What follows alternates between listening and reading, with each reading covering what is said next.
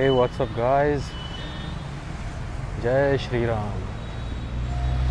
तो आज हम आ गए हैं द्वारका और अरे यार। आ, आज हम आ गए हैं द्वारका गुरु जी के पास फाइनली बहुत लंबे टाइम के बाद आ रहा हूँ मैं वापस। आ, बीच में एक दिन आने की कोशिश की थी लेकिन तब गुरु जी थे नहीं यहाँ पे। और अब आया हूँ मैं वापस यहाँ पे।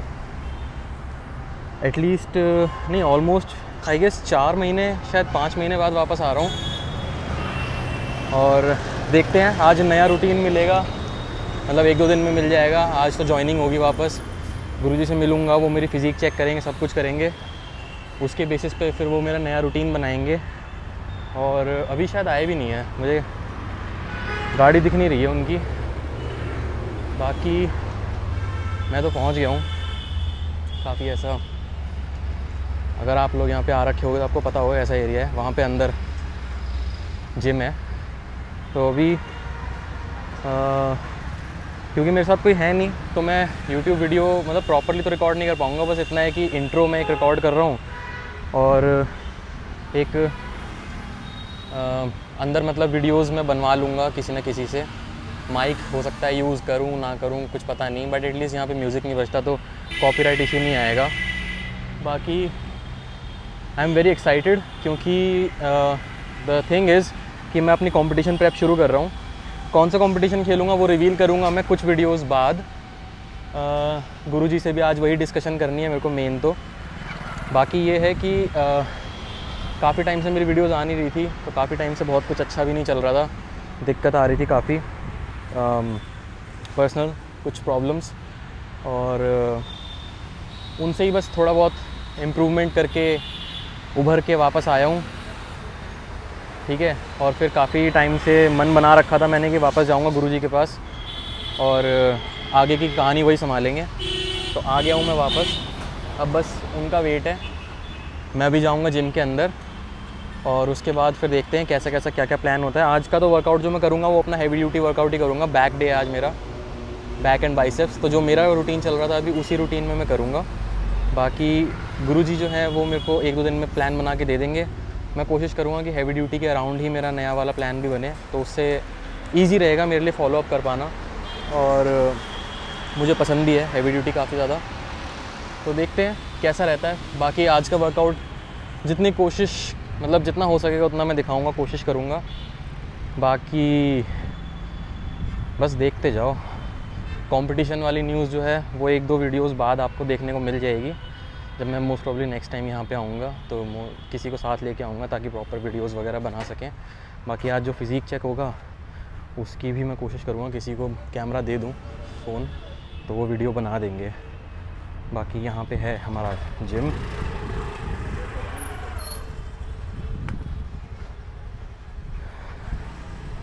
ये रहा gym. As you can see Dronacharya is the gym